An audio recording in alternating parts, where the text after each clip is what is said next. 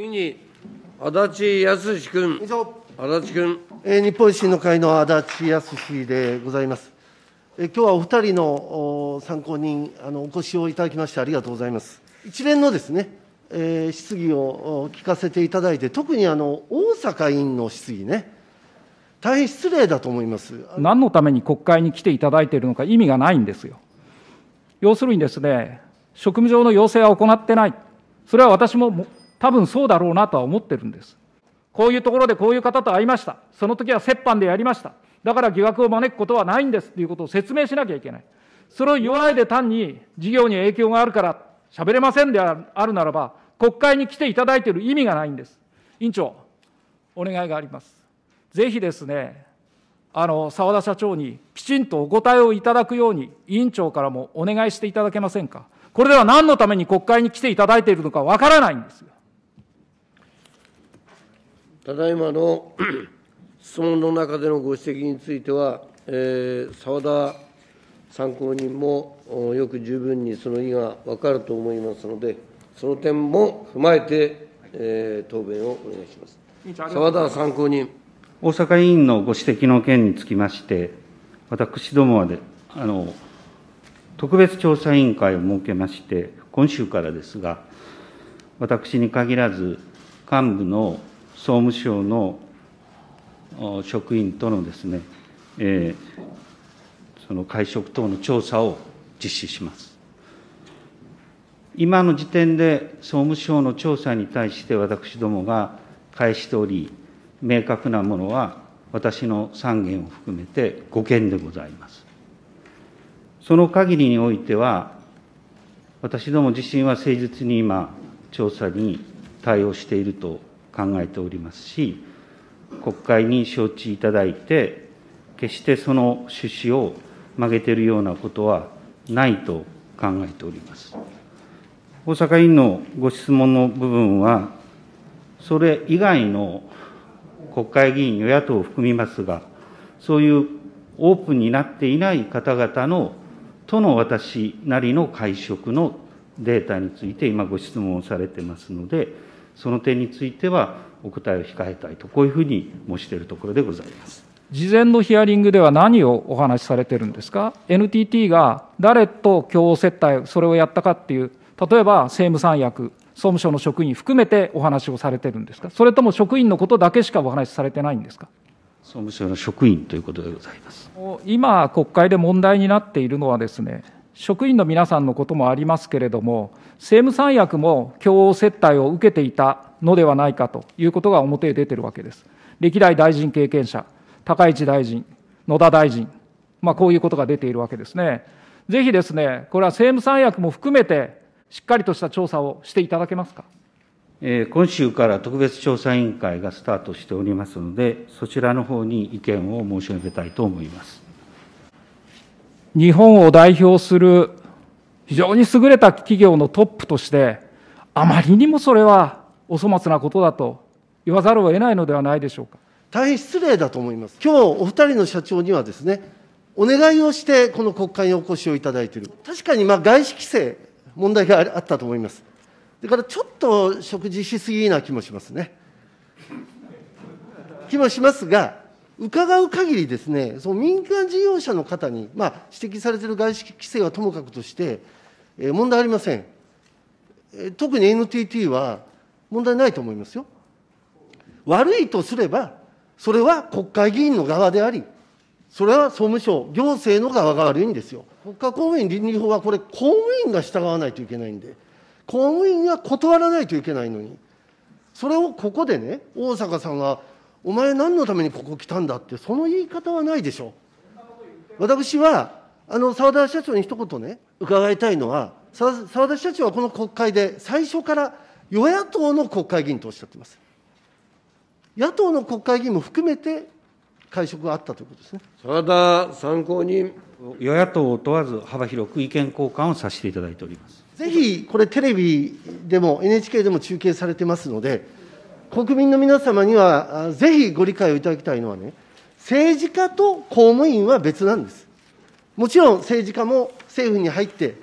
えー特別職として大臣いらっしゃるわけですが、政治家は選挙があるんです。だから、最後は民主的な統制は、選挙で、こいつはあかんと思われたら落とされるわけです。何のために一般職の公務員について厳しい倫理規定があるかといえば、彼らは選挙がないからですよ。だからもし、この国会で本当の本質に的をしっかりと定めて、質疑を深めていくのであればね、それは国会議員について議論を深めたいんだったら、まず野党、野党が自分たちが NTT の幹部といつどこで会食したか公開してくださいよ。自分たちは一切出さずに、与党の政治家にだけ出せというのはね、私はおかしいとこう思います。その上で、その上で、この倫理法のとこ見てください。もうみんなね、この週刊文春の後追い、落ち穂拾いばっかりしてます。その中で私たち日本維新の会だけが違うだろうと。これはもっと広がりのある話でしょと。皆さん分かってますか？山田さん、谷脇さん、この5年間、1回も報告してないんですよ。総務省は数件、1桁報告があります。その中に山田さん、谷脇さん、入ってないんですよ。彼らは一件も報告せずに飯食ってたわけですよ。いくらそれ、大臣ね、これいくら調査をしても、前回の調査も先制してたんです。先制しても彼らは東北新社についてしか報告してなかった。これ、心して調査しないといけない。特に私は事業者側、事業者側への調査が不可欠なんだけど、総務委員会で NHK の会長に、NHK は受信料で、NHK の、ね、役員接待費というのは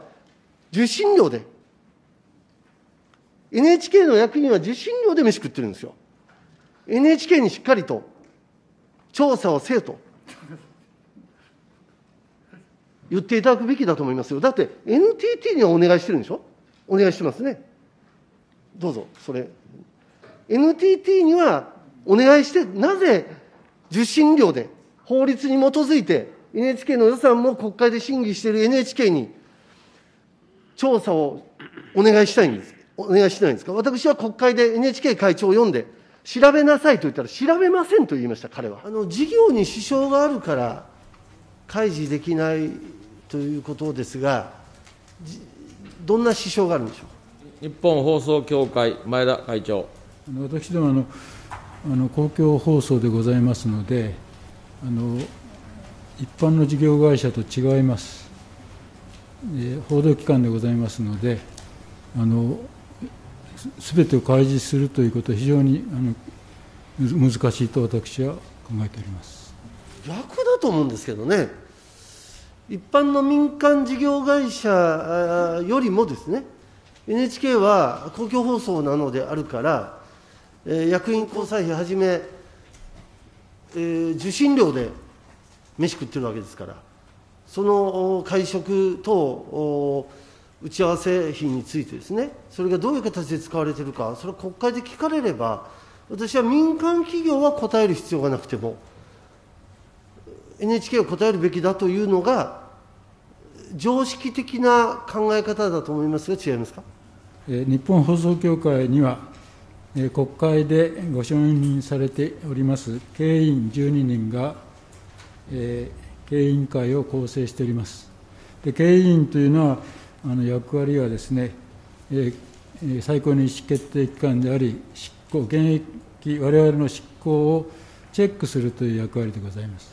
さらに内部監査委員会がございます。これも構成は、えー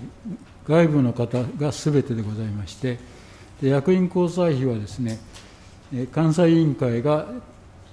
チェックをいたしております。そういう意味であの、もちろん先生がおっしゃる意味は分かるんですが、NHK は自主自立ということで、公共放送、まあ、放送法の下で経営をしているわけでございますので、そこの経営委員会、もしくは監査委員会が機能しないということであれば、これはもう一度あの国会でいろいろご議論いただきたいと思います。うん、なかなかあの難しいご答弁ですね。全くわからないというか、何かあの国会のあの私あの、番組の中身について聞いてるんじゃないんですよ。これだけの事態になっている中で、総務官僚との会食の有無を聞いてるだけで、別にダメだと言ってるわけじゃなくて、先ほども今日原官房長も、NHK との会食は規定の範囲内であると、私は規定の範囲外でもあると、まあ、勝手に思ってますが、あるということお認めになってます、総務省が認めてるのに、NHK は認めない、国会との関係で、何か特別に NHK は、えー、そういう特別な立場を取って、本当に大丈夫ですか？公務員倫理規定違反というこのことについてはですね、私はあの公務員でございませんので、公務員側で違反があるかどうかというのをあのお調べいただくということだと思うんです。で、その相手方にですね、NHK の職員、役職員がいたとすれば、もちろんあの私どもは必要な調査をさせていただきます。私のどもの方からあの違反した事実があるかどうか、ちょっと立証ができないものですから、申し訳ないんですが、そういう立場でございますひどい話ですよ、総務大臣から、いや、法律に基づかなくていいですよ、NHK しっかりと受信料でやってんだから、会食があることはもう認めてるんだから、私の質疑に対して。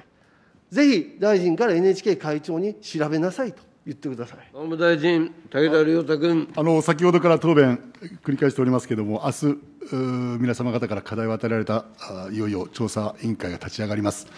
あの先生からのごしご指摘をしっかりとこれをお伝えして、その調査期間の中で調査されるように期待をしていきたいと、このように考えていますいや、大臣、だめです。あの総務省からいただいているこの調査手法、NTT だけ特別扱いなんですよ。NTT だけ、NTT に調査を要請するんです。そして倫理法違反の会食に限定せず調べるということになってるんです。なんで NTT だけなんですか？澤田社長のお話を伺うと NTT 悪くないじゃないですか。それに対して、受信料で会食をしている NHK 幹部について、総務省のこの倫理法のところですよ。だって総務省は宣誓をしても、一件も報告してなかった、宣誓をしても答えなかった、事業者に聞くしかないじゃないですか。事業者の中で最も私たちの求めに応じて答えるべきはですね、東部新社 NTT 調べるんだったら、NHK を、そして民放も含めて、放送事業者を調べるべき。で、放送事業者はまあ民間だから、まず NHK ですよ。受信料なんだから。NHK、ここには NTT だけ特別扱いなんです。NHK も特別扱いすべきです。お願いします。あの総務大臣、武田良太君、その後官房長もさっきから手を挙げてるんで、ね、いや、もう時間ないからいい、はい。ないいいんですか？はい。それじゃあ、ええ、総務省官房長、原邦明君。今回は、可能な限り広く短所をつかむということで、メールを調べるとか、あるいはいろんな形で自己申告に応じてですね、処分をの刑値を決める等々、いろんな工夫もしております。検事経験のある弁護士の方にも参加いただいて、チェックをいただいて、その中で、NTT グループは、これまでも倫理規定違反が判明しております。従いまして、今回、司会的に全部出してくださいとお願いしております。NHK につきましては、現在のところ、倫理規定違反、ルールに沿った会食、ルールに沿ってない会食があるということは判明しておりません。